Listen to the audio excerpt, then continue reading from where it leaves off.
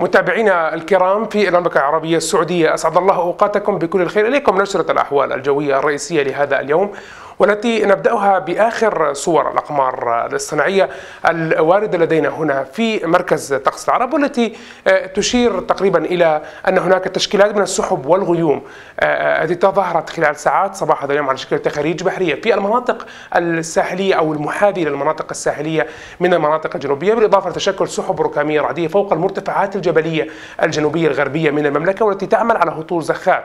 رعدية من الأمطار تكون في بعض الأوقات غزيرة مسببة تشكل لسيول أو حتى جريان للأودية. سحب أيضا تشكلت اليوم في نواحي المناطق الشمالية لحائل وبالقرب من الجوف وسكاكا وعرعر. هذه السحب هي تابعة لامتداد لهذه الحالة المطرية المتوقع أن تستمر على مناطق المملكة خلال ال 24 ساعة القادمة. خرائط توقعات الهطولات المطرية الناتجة من النماذج العددية تشير إلى استمرار وجود فرص الأمطار في المناطق الجنوبية الغربية من المملكة مناطق الساحلية على شكل تخاريج بحرية تدخل إلى بعض المناطق الساحلية تكون محلية الطابع ونعني بالتخاريج البحرية هطول زخات رعدية من الأمطار أحيانا وتكون خاصة في المناطق الساحلية تكون بالقرب من جدة وأيضا السواحل القريبة من الليث والقنفذة وأيضا ربما تطال مدينة جدة ولكن الاحتمالية تكون ضعيفة إلا إذا تشكلت تخاريج بحرية بالقرب منها.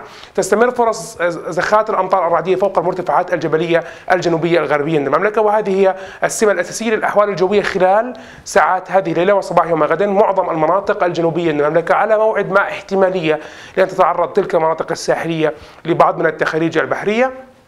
شمالا في حائل والجوف وسكاكا هناك فرصة جيدة للأمطار كما نلاحظ خلال ساعات هذه الليلة تشتد هذه الفرصة مع ساعات نهار يوم غدا لتشمل أيضا مناطق أوسع من شمال غرب المملكة وربما تطال أيضا بعض الأجزاء بالقرب من تبوك والحدود السعودية الأردنية. تشتد الأمطار فوق مرتفعات جنوب غرب المملكة تكون غزيرة على فترات. كما وتقترب التخاريج البحرية من مناطق جدة وسواحل الليث والقنفذة وأيضا عموم المناطق الجنوبية الغربية من المملكة بمشيئة الله تعالى. وتستمر هذه الحالة المطرية حتى ساعات متأخرة. من نهار يوم الأحد. بالعودة إلى الأحوال الجوية في القسم الآخر في المملكة مثل الرياض الأجواء مستقرة تماما. درجة الحرارة مثلا الصغرى هذه ليلة 9 درجات مئوية. الأجواء غائمة جزئيا لكنها نوعا ما باردة حتى في ساعات الليل بالرغم من الاستقرار في الأجواء.